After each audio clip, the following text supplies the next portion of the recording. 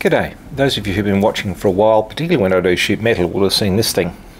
Uh, this is, or at least I think it is, a Roper and Whitney uh, number 5 junior hand punch. I say I think because there's a story in there. However, uh, while trying to get some more punches for this, uh, I, I, chanced upon seeing there's a larger version of this, uh, which they call the XX. And uh, so today I'm going to be trying to make up some punches because one of the problems with the, um, the Roper and Whitney kit is that their punches are imperial and uh, Australia being a metric country, country, that's not always convenient. And so I want to get some metric punches. Uh, they could make them, but they'd be a special order. They'd cost a zillion dollars and so on. So today, for its big brother, so I'm trying to make a basic metric punch. There'll be other punches I want to make, but this is just sort of a, a trial piece. Starting with the number five here. And the XX is, is similar thing, but it's a it's a just a bigger scale. So there's a there's a whole range of punches you can get. Uh, the ones that come in the set are Imperial, and basically you've got this bit that screws in the bottom, and then this part uh, sits in the top there and that's the action there. Uh, they work quite nicely and there's a little stop there too. Now the reason in the introduction that I said that this might be a Roper and Whitney is that I tried buying a, a small punch for this uh, from Roper and Whitney, but it didn't fit. Now, when I mentioned measured all the um, the punch barrels there, or punch diameters, they are all 0.279 of, a, of an inch, except for the one that wouldn't fit, which was 0.28. However, when I went back to um, Roper and Whitney, the, the, suggestion was made, well, it's probably not a, a, genuine punch because there were some counterfeits made. Um, apparently, you can tell by the yellow handles. And so there wasn't really much help there to try and get a punch that fitted. I eventually had to, to grind it down, but um, yes, uh, an inquiry several weeks ago now about is this a genuine punch or not? Um, mm, no answer. One of the punches that can be used in this punch is a what would you call it? A countersink punch. Basically, it'll punch the um, the hole through your your piece of sheet, uh, but then because of the shape of the punch and the shape of the, of the die, it will actually put a put a form to that. Uh, so if you've, you've got some small countersink screws to set, and uh, that's quite interesting because that's one of the things that I'd like to do with the XX as well. This is the XX hand punch. As you can see, considerably bigger. Um, I discovered when I moved the guide here that they, they sort of assemble these, then they paint them, which is a bit uh, bit odd. But uh, it is what it is. The XX punches similar sort of arrangement uh, in that there's a, a, a, die piece and a, and a punch. The uh, die piece screws into the body here and the punch screws into the top. The interesting thing with this is that it's got a couple of screws there. Now that screw retains that punch, but what can also mean is it means you can make up square or you can buy square punches and things like that. Once again, special order um, that can fit in here and so you can actually punch square holes and, and that's something that I'd like to be able to do soon uh, too. What I want to do is make up uh, a punch and a die. Uh, I won't be hardening them at the moment because uh, I've got a whole bunch of these I want to make and I'll, i just wanted to see whether the, it's even practical for me to do uh, but in a in a six millimeter size so I can I can set uh, four millimeter riv nuts this thing is, is uh, considerably heavier than the, the number 5 uh, and so although it wouldn't be too bad for uh, the odd hold or two I think you'd get pretty tired of it uh, if you were using it a lot.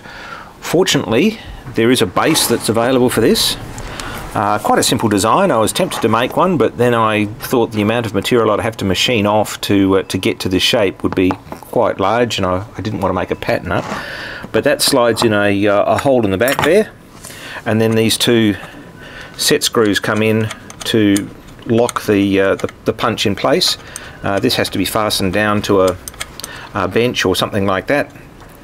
there, but I can do that with a, a, a G clamp for the, uh, temporarily, and I'll, I'll, come up with something a little bit more permanent. But that just means you can do the punchy thing with it uh, sitting on a, on a bench uh, and not be hefting the weight around. One of the, the critical things with uh, punch and die type punches is the clearance between the die and the the punch. Uh, the closer you can get that, the better off, uh, the better finish you get. But then you've got to be careful that you're not having a situation where a little bit of misalignment means you, you crunch your punch, or that uh, the material just doesn't want to want to do it. Uh, and there are various tables out there for um, loads and, and uh, you know tonnages and all that sort of thing. These things give about 1.2 tons, I think I read, so um, not an enormous amount. Uh, the, the, maximum size here is uh, 1730 seconds, which is around about 13 and a half millimeters, uh, but I, I, I, doubt you'd get that through a, a decent thickness of steel. That's a 730 second, and that's uh, 0.219 thou, and on the size of the punch it helpfully says 0.219 so that's all good. When I measure this though with a pin gauge and that one only just goes in right um, that pin gauge is 0.226 so there's 7 thou clearance between the punch and the die so that's what I'm going to be aiming for I'm going to start off making the die because I can put a hole in that and then um, do my punch to suit. It's, a, it's another uh, step in the process, but I'll probably end up having to make a grinding fixture so I can harden these things and then bring this down to, to exact size. But for the moment, I'm just going to be making some out of a bit of tool steel and uh, that'll just give me an idea as to whether I can achieve the geometry and whether it's even feasible to, to do these things. I've just prepped my uh, bit of tool steel for cutting the, the thread. So uh, take, took that down to the to the uh, uh thread OD and then went down here to the, the diameters of the, of the lands here and here. Now there are two ways you can set this up to do. Uh, one is as I've done here, but the other one you could do it that way.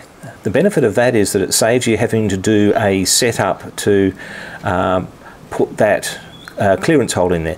The way these punches work is that you've got a uh, you've got the hole there, which you probably can't see, but shortly after the hole, you know, maybe an eighth of an inch or something like that, three millimeters, it then widens out. So any slug that goes in there gets a chance to be pushed pushed through and doesn't have any any um, friction.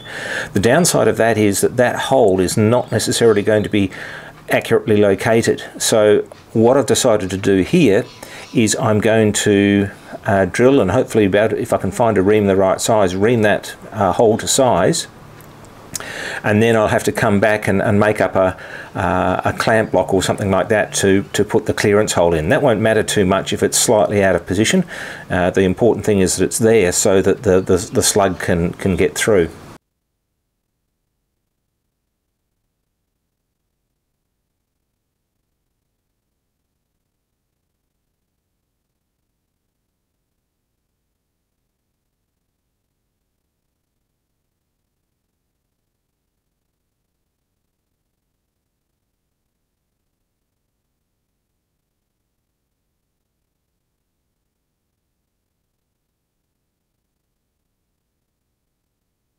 I've got my uh, die all, all um, threaded here. Uh, I checked that with a thread mic and it's the, the, the, same as the, the thread on here. The general dimensions are the same. There's a slight crown on here, but I don't know whether I'll bother with that just for the moment. Uh, I'm more interested in, in, whether I can get this thing to, uh, to work. As I said earlier, the clearance between the punch and the die is something like uh, 6 thou. Now, I haven't got a, uh, a 6.15 uh, reamer, but I have got a 6.15 drill, which is this one. It's a C. It's a C um, drill from the letter series. So I'm going to very slowly and carefully just run that in there with a bit of bit of um, stuff on there. As I said, it won't matter too much because I'm going to be making my punch to suit, but I'd like to get this uh, six or maybe a smidge over, just so I can I can uh, punch those those six millimeter minus nothing plus something or other, uh, typically 0.1 or so holes. So I've run my C-size drill in there. Uh, 6 millimeters plus 6 thou should come out to 242. There's a 242 pin.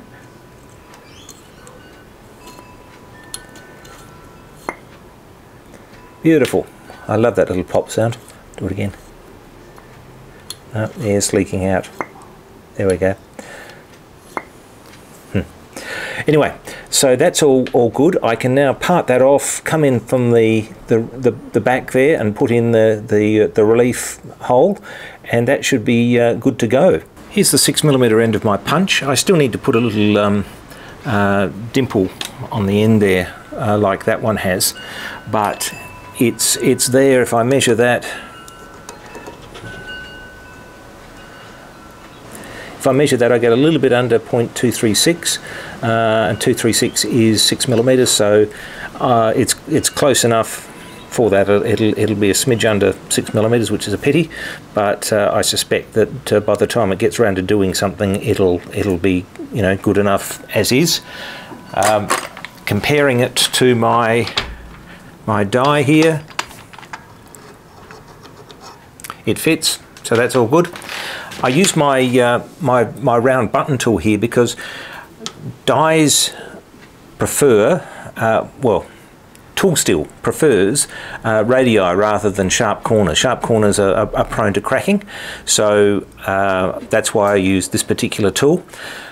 This diameter here for this size punch is is just clearance. Uh, when when you get up to the bigger punches, it's it's it's a it's a hard uh, fixed diameter, but what I now need to do is put my little dimple on the end there and then using my parting tool uh, run that down to get the the, the, the, uh, the diameters here. Now this is actually crucial because this is what holds everything in alignment with, with this particular style of, of punch.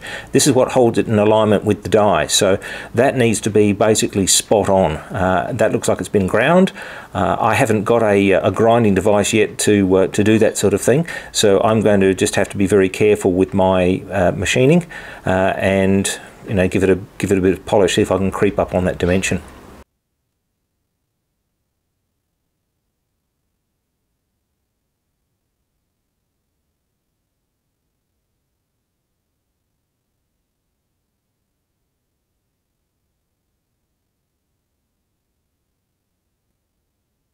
So how does this all fit up?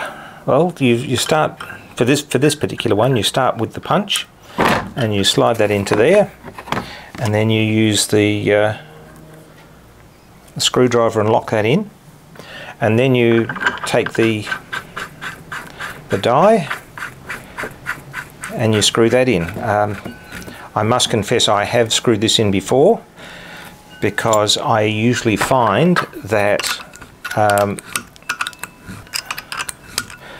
when I when I'm cutting a thread on the lathe, uh, it's it's it's a little bit burry, a little bit rough, and so it's nice to have a nut to run it down. So I did try it in here just to, to smooth that off, but you can see that there's that punching action. Everything lines up quite nicely. Of course, the big question is, how does it work? So the uh, uh, punch is fitted into the the holder. Uh, it just happens to be sit nicely on a, on a T-slot, so that's all good.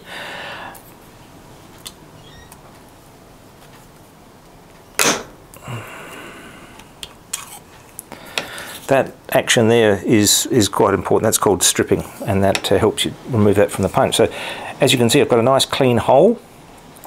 Uh, there's a little bit of a burr on the back there. Six millimeters is 0.236 thou. It's actually two tenths of a thou over and if I take the the pin I can just get it through there. So I've got basically a six mil punch. Now I'll uh, I won't I won't use this unless I really have to. Uh, I'll um, uh, send this off for uh, heat treatment with a whole bunch of other things uh, and that'll be in a little while time but uh, yeah I've, I've got a six mil punch and now I can start working on uh, a few things to make other punches. I, I want I'd like to make some rectangular punches. I'd like to make some uh, more uh, metric punches. Uh, but I probably need a better way of, of grinding that um, locating surface there. So I need to I need to work on that. But it's a result. Thanks for watching. See you for the next one.